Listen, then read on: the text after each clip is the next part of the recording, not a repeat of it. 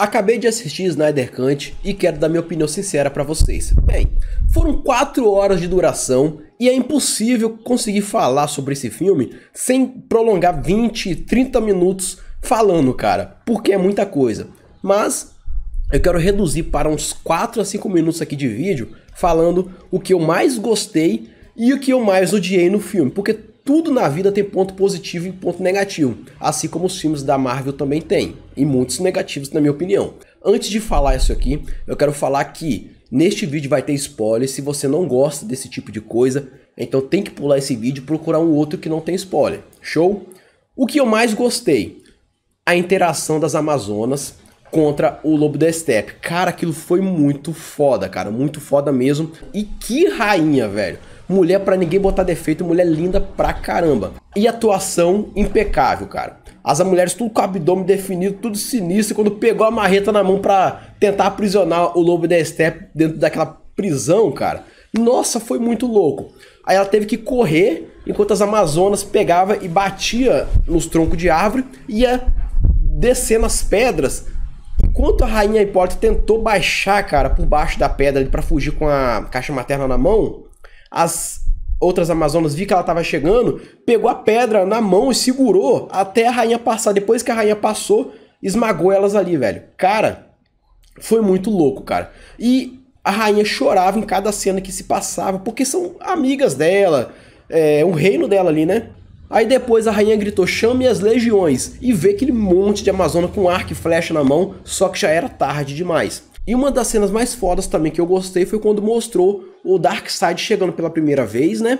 E lutando contra Zeus, lutando contra Ares, e levando um cacete também. Matou um dos lanternas, como a gente viu aquelas cenas vazadas na internet, em trailers e tudo mais.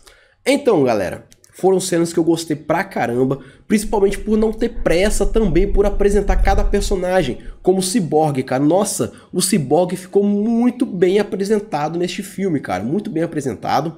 Tirou cenas que a gente queria que tirasse mesmo, como o Superman com bigode, né? Colocou aquela negócio ruim de CG ali, velho, para disfarçar o bigode dele. Depois também tirou a cena que o Flash cai em cima da Mulher Maravilha e outras cenas também. Uma das cenas que eu achei que seria tirado desse filme é quando o Flash entra dentro do carro do Bruce Wayne e pergunta assim: qual o seu poder? E logo ele fala: eu sou rico. Né? Eu achei que iria ser tirado pelo tom de tema sombrio e tudo mais do Zack Snyder que iria trabalhar neste filme. E eu achei legal que não foi tirado também porque não ficou pecando em nada e combinou com o tema do filme. Alguns momentos para descontrair, show de bola, mas nada que foi demais, velho, nada que ficou assim é, descaracterizado, beleza? Gostei pra caramba também do visual do Lobo da Step, velho, que visual foda pra caramba, capricharam demais, capricharam demais no CGI dele, ficou muito foda, tá? E, bem, algumas coisas não deu assim para ficar 100%, por exemplo, o Dark Side. O Darkseid, ele só apareceu mesmo no início, cara. Depois só foi algumas cenas meio colocadas ali, mas nada de ação. Então, o vilão principal, como a gente já sabia, seria o Lobo do Steppe mesmo. No finalzinho do filme, eu não gostei, cara, daquela coisa assim que endeusar demais o Superman. Isso aconteceu na versão de 2017 e aconteceu nessa versão também.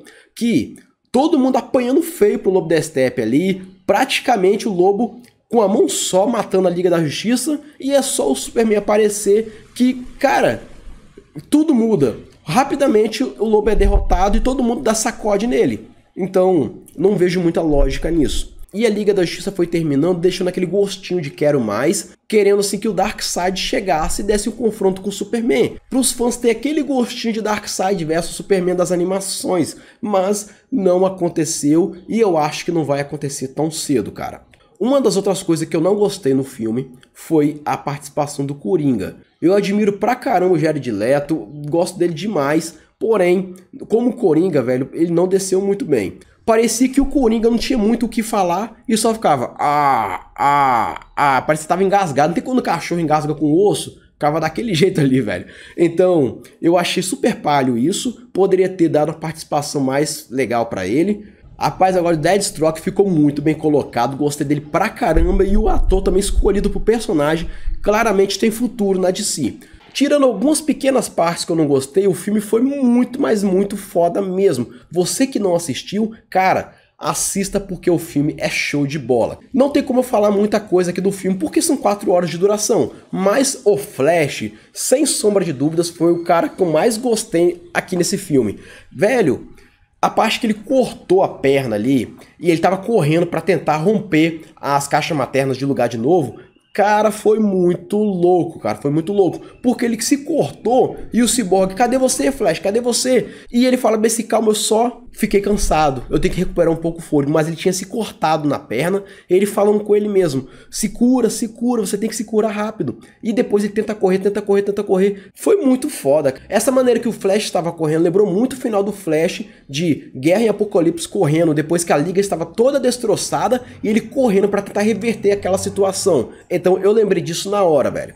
Sem sombra de dúvidas, eu não via esse ator como Flash antes, mas agora ele tem total apoio depois dessa atuação. Gostei dele pra caramba, cara, pra caramba mesmo.